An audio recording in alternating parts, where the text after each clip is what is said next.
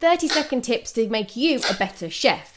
Now, this is how you make a baton, and it's a type of cut which the name suggests make a baton. So, you square off your vegetable that you're going to use or whatever you're chopping. Then, about one centimetre thick, you're going to make these lovely big old slabs, and then you're going to cut through to make this lovely baton shape. Now, this is perfect for dipping, perfect for just snacking on, and a really nice way to cook vegetables.